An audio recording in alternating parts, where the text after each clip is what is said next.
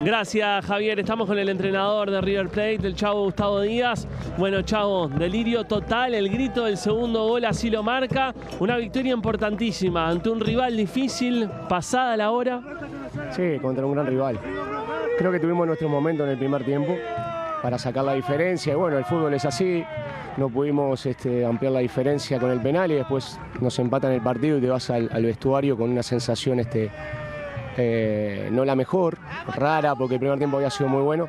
Después se emparejó, Fénix juega muy bien, Nacho Payas es un gran entrenador, este, sabe jugar muy bien los partidos y este, después eh, se hizo de mucha disputa en la mitad del segundo tiempo y después los recambios, ¿no? Tenemos juveniles de un nivel extraordinario que nos permiten cambiar ataque por ataque y, y, este, y ser efectivos y hoy nos regalan una victoria emotiva este, como la fecha anterior y principalmente más allá de clausura, que obviamente nos tiene arriba, creo que una victoria muy importante por la tabla general. Qué importante esto que marcás, ¿no? El hecho de tener hombres de refresco que puedan cambiar los partidos, que puedan ser eh, hombres que entren para variar los trámites de los mismos. En el partido pasado ingresa con gol La Vega, hoy entra muy bien. Lo de, de Los Santos hoy también poniendo un gol clave. Sí, y Nico Sosa también, muy agradecido que optó por quedarse con nosotros, un pibe extraordinario con unas condiciones bárbaras.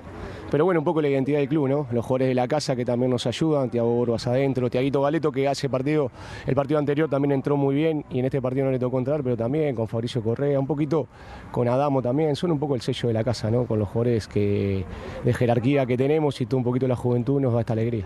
Se viene Cerro Largo ahora, hay que ir a Lubilla de Melo, una cancha siempre difícil, ¿qué se espera del próximo partido? Sí, tenemos entre semana también Copa Uruguay.